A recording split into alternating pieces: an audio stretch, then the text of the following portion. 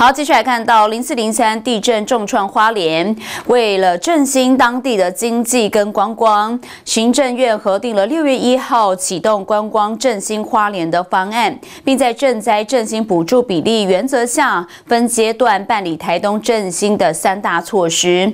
那么台东的饭店业者表示呢，会针对补助部分再加码相关优惠，希望能够吸引民众来台东。那么旅游相关的业者则表示。仍是希望与花东同步，一起将饼做大。饭店的防务人员正在整理房间，并将房间的每一处打扫干净，准备迎接新的旅客。上个月零四零三花莲强震，导致花东地区的观光旅宿业大崩盘。眼见即将到来的暑假假期，但饭店的人员坦诚订单不如预期。而中央对于花东的补助措施，也在日前拍板定案。针对团客以及自由行的旅客，寄出了不同的优惠补助。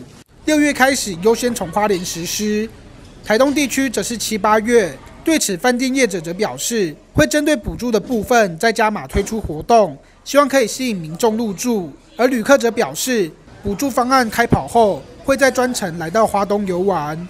花莲是六月，那台中是八月。啊那你们？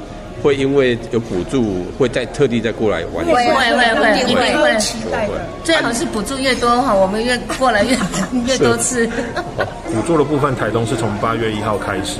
好，那其实呃，现在这个部，现在这个时候一直到八月的住房率，其实呃都没有相当的一个起色的部分。当然，我们是希望能够透过补助的一个方式来刺激这样子一个旅游人潮，让整体的一个观光恢复到呃正常的一个状况。我们饭店的部分的话，针对这样子一个促销方案，目前是有推出线上享去国民日。那当然搭配补助的部分的话，我们还有更多优惠的一个部分，也会同时公告在我们的官网上面。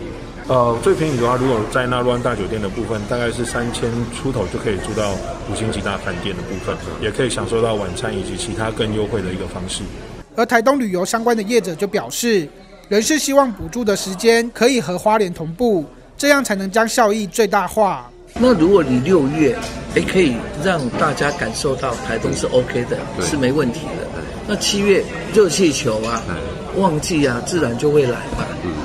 那可是如果今天来讲，我八月才补助，那前面大家都不敢来，今年的暑假怎么就毁了。